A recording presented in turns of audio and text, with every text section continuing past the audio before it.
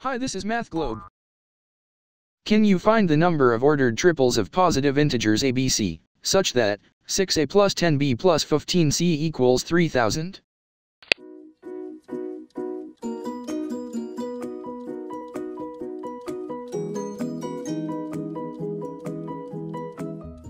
Let the solution come. Okay first, let's recall the question and analyze the values of a, b and c, keeping in mind that they are always positive integers. Let's now make the substitution as follows. This substitution and simplification transform the original equality into shown expression.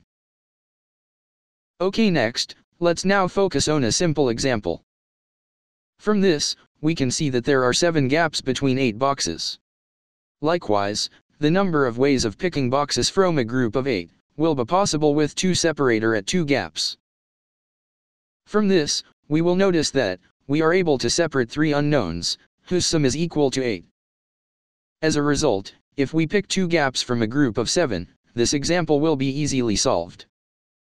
Next, if we return to the main expression, in a group of 100 boxes, there will be 99 gaps. And due to 3 unknowns, expression will be solved with 2 separator.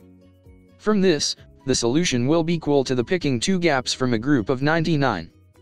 And here, we will calculate 4851 as a solution.